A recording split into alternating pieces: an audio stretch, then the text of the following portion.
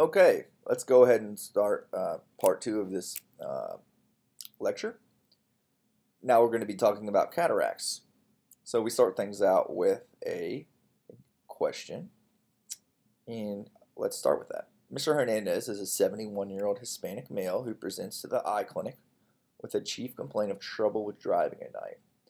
In particular, he notes trouble with glares and halos around headlights when he's driving.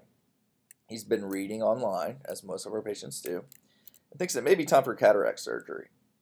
All the following, except one, are accepted indications for cataract surgery.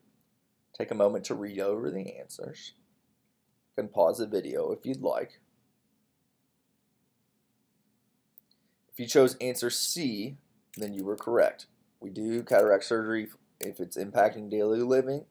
The cataracts are impacting their daily living we do it commonly if their vision is only gets to 20/40 with glasses. And then for patients who have severe diabetes or other retinal diseases, we may do cataract surgery in order to better view the retina. Cataract surgery. Let's talk about the statistics. Cataracts are the leading cause of blindness worldwide. They affect 24.4 million Americans, and then in general, may affect one in six adults above the age of 40, so not uncommon uh, to see. Here's an example of cataracts and how um, they can affect the clarity of your vision. Typically, in in when we're born, we're born with a crystal clear lens.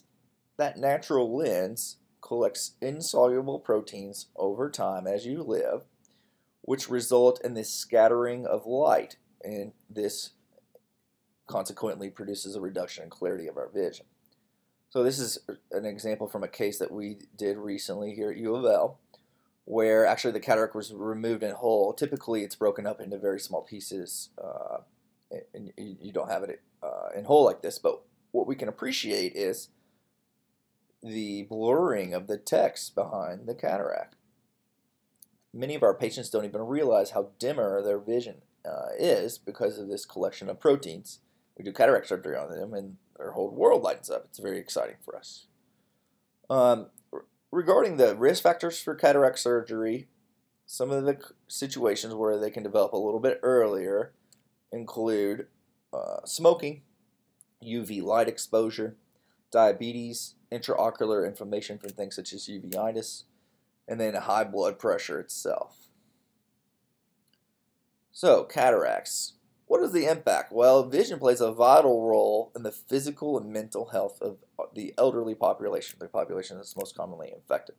There was one interesting uh, study that was done, a randomized control trial, which showed that 30 there was a 34% reduced rate of serious falls or fractures in patients who had had cataract surgery in their first eye within a year, which is incredible. I mean, you're talking about, you know, the ability to get around better and not, not have some of these horrible falls that uh, impact the elderly and reduce their independence and end up in causing depression and all sorts of uh, other consequential issues. So not something to take lightly.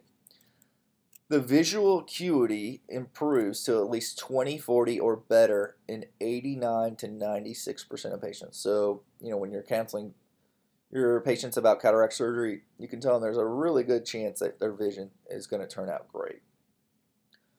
What are some of the interesting surgical considerations that you should be aware of? Uh, well, nearly every case is outpatient and utilizes topical anesthesia and some light sedation, just typically intravenous Versed. And it lasts between 15 and 20 minutes on average, sometimes much quicker than that, sometimes longer. Typically, there's no need to stop regular medications, just remain NPO at midnight and make some minor adjustments to the insulin regimen in diabetics. And then visual recovery takes place within two to three days. Sometimes, you know, some of the ultrasound energy that we use can cause some normal postoperative inflammation. So maybe that vision is not perfect uh, the first day out. So let's play a quick video to demonstrate uh, cataract surgery and some of the basic concepts. Usually with cataract surgery, a small incision is made in the eye.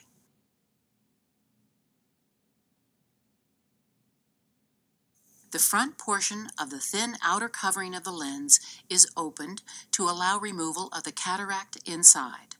The cataract is gently broken up and vacuumed out. Then a folded lens implant is inserted through the small incision and into the capsule where it unfolds and permanently takes the place of the clouded natural lens. With the cataract removed, the new lens implant clearly focuses light rays onto the retina. The power of the lens implant is selected for your individual eye. Good, so that's a nice rundown. And then there's some other interesting considerations in cataract surgery now. That lens, you can put in premium lenses, which allow patients to see both at distance as well as at near, but that's a little bit uh, beyond the scope of, of this talk. Okay, so that's a little bit about cataract surgery. Now we should discuss glaucoma. And as always, we start with a question. Miss Jackson is a 68 year old African American female who presents to her primary care provider with a chief complaint of lethargy. She notes that she's followed her New Year's resolution by making all of her preventative checkups with her doctors this year. In fact, she visited an ophthalmologist last week who started her on a new medication for early onset primary open angle glaucoma. Which of the following option matches her fundus photo with the medication drops she was likely started on? So review those pictures and the medications and pause the video if you need to and, and see what you think. Okay, great. If you chose D, you chose the correct option. Let's quickly review this. So this is a picture of classic uh, primary open angle glaucoma.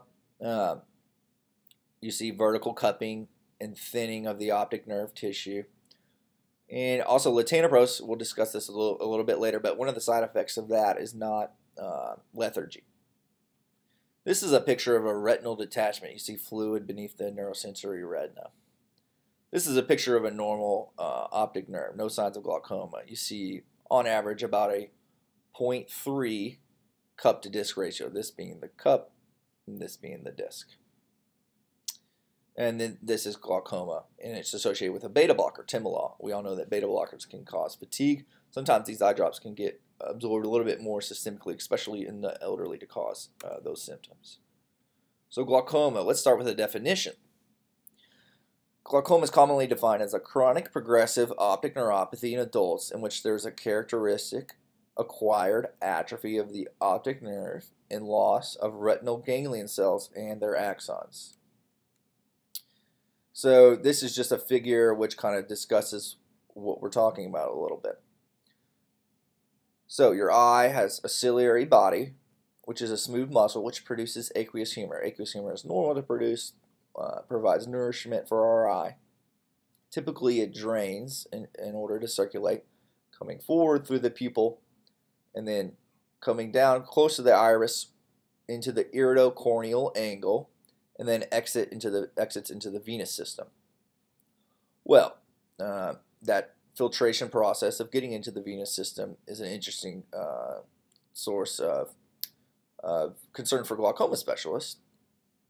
One of the theories that we have is that the trabecular meshwork, or that netting structure that allows for the exit uh, to the venous system, can provide abnormal resistance to outflow uh, something that's been studied extensively. And we see that patients who have this higher resistance to outflow end up having a higher intraocular pressure, which is one of the main risk factors in glaucoma. That elevated pressure or higher fluid level within the eye causes a squeeze on the optic nerve and cause, can cause damage to uh, ganglion cells and ultimately rob us of vision. Statistically, glaucoma is the second leading cause of blindness worldwide. Approximately 3.3 million adults in the U.S. will be affected by glaucoma in 2020. That's a pretty high figure. And there's a threefold higher risk for African Americans to develop primary open angle glaucoma than non Hispanic whites. So, certainly something you need to talk to your patients about if they have African American race or any family history of glaucoma as well. And this graph just kind of re-illustrates what we were talking about. The higher your pressure, this is on the x-axis, the more likely you're at to have glaucoma issues. Okay, that's not. There's some other factors that go into that, but that's the most important thing for you to think about. In glaucoma, we have a wide variety of diagnostic tests that allow us to kind of assess for glaucoma and also its progression. One of the things we do is called a, a visual field test. The visual field test takes about 8 to 10 minutes. A patient is uh, put in a uh, special testing situation where we assess their ability to detect light in different spots of their visual field. What happens is, a, a light of varying intensity is displayed to the patient, and they click a joystick indicating that they can see it. So in this situation, this person doesn't have glaucoma. This inability to see this spot is due to the insertion of the optic nerve in the right eye. However, in these uh, uh, studies, we can see that the patient has some signs of glaucoma. There's dropout of the superior visual field. And these are other kind of associated normal, uh, associated signs of glaucoma as well. Glaucoma is commonly referred to as the silent thief of vision. Unfortunately, many times we ophthalmologists don't get in front of uh, these patients to treat their glaucoma and they end up losing all of their peripheral vision. And they finally come to see us when it starts to affect their central vision. See, this patient has complete dropout of their peripheral field and only a central island of vision left. Unfortunately, there's nothing we can do in that situation. All those uh, uh, axons uh, have been damaged and, and lost from glaucoma. So it's important to see your patients earlier and treat and prevent that from happening. We also have ocular coherence tomography like we do uh, in diabetic retinopathy and macular degeneration to assess for the anatomy of, of the retinal nerve fiber layer, which thins in glaucoma. Basically, what we do is take a picture test of the optic nerve and compare the tissue density to a normal uh, age-matched database and, and assess to see if you know there are some findings of thinning suggestive of glaucoma. And then one of the other things we can do is gonioscopy, which evaluates the anatomy of the iridocorneal angle and assesses the trabecular meshwork for uh, glaucoma. We are really kind of focusing our talk today on primary open angle glaucoma because that's the more common one in, in uh, the United States. But gonioscopy is also very important in closed angle glaucoma, which can assess for the ability for that aqueous humor uh, to drain out of the eye as well and has to do with where the iris inserts into the trabecular meshwork.